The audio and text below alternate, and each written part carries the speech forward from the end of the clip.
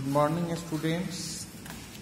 Uh, chapter 5 and the chapter name is Occupation, Class 2, Subject EVS.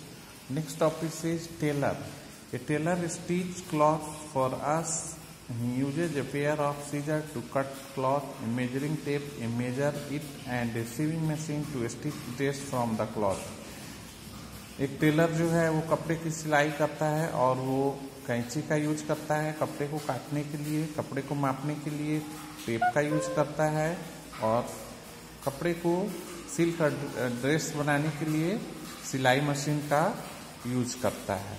Next है potter. A potter makes pots, bowls and vases from clay एक potter जो है, कुम्हार, वो bowls bases और clay बनाता है, मिट्टी के बर्तन बनाता है ही moulds the clay on the potter's wheel into different shape वह क्ले को विभिन्न तरह के शेप में मोड़ता है, जिसमें वो पॉटर्स व्हील्स पहिया के ऊपर.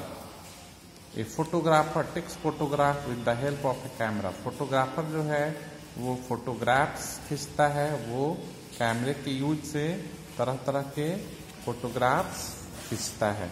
नेक्स्ट है let's learn about people who sell things अब हम लोग वैसे टॉपिक पे बारे में पढ़ेंगे जो लोग कुछ सामान बेचते हैं, जैसे the grocer sells rice pulses and various other grocery item grocer जो है वो चावल, दाल और विभिन्न तरह के ग्रोसरी आइटम्स बेचते हैं।